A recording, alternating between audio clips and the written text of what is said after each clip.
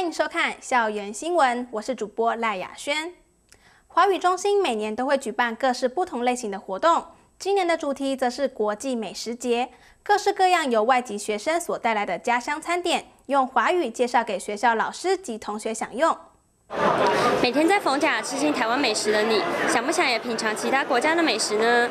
今天在学校登场的国际美食节，让你不用到世界各地，也可以品尝到许多国家的美食哦。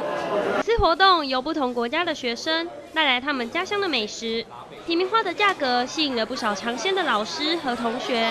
现场插满了色彩缤纷的国旗，还有外籍学生用着流利的华语叫卖。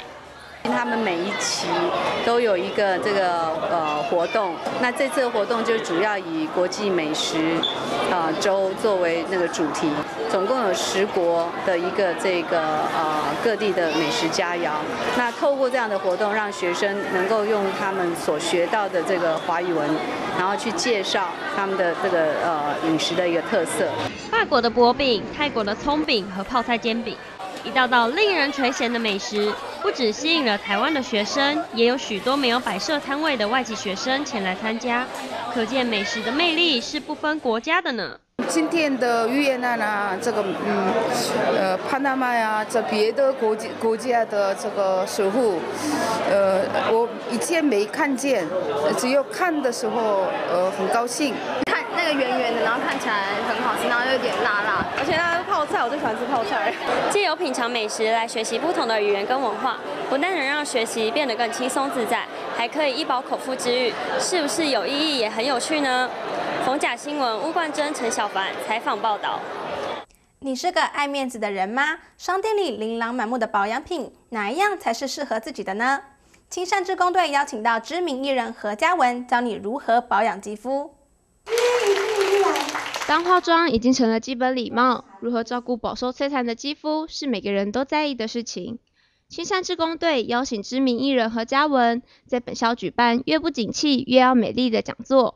和大家聊聊保养的问题。那氧化压力，你们可能呃应该有听过，其实就是老化。我们从小时候出生一直长大，其实就开始在老化。很多人就开始讲，不管是呃可能女性女生朋友，二十五岁以后，我们就开始慢慢的在走下坡，在老化了。在讲座一开始，何嘉文老师就发下适合不同皮肤的乳液及问卷，也让平常没注意到自己皮肤状况的人仔细检视自己的肤质。现场的气氛十分热络，同学踊跃的回答问题。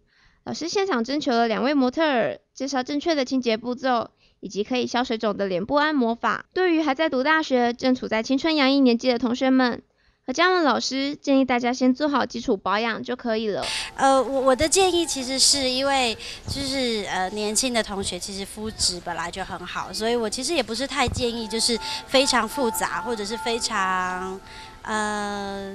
太过多的保养，所以我会建议大家在预算很有限的范围之内，我觉得把钱花在刀口上，那也不用选择真的就是非常呃熟龄的保养品。因为本身是艺人，演艺圈的环境使他接触保养品更深，甚至从使用者变成了创业人。如果我可以把我接触到的很多国外的东西，然后变成。啊，我们把它转化成就是我们东方人，我们华人在亚洲很适合用的东西，我觉得会是一个很棒的事情。何嘉文老师对逢甲其实并不陌生，因为工作他也时常来到逢甲附近。逢甲附近就是给人家一种莫名的安全感，那个安全感就是你会觉得这里的人很友善，然后你想要什么都有。选择适合自己的保养品，即使不花大钱，也可以让自己拥有美丽的外表。逢甲新闻综合报道。谢谢您的收看，我是主播赖雅轩，我们下周再会。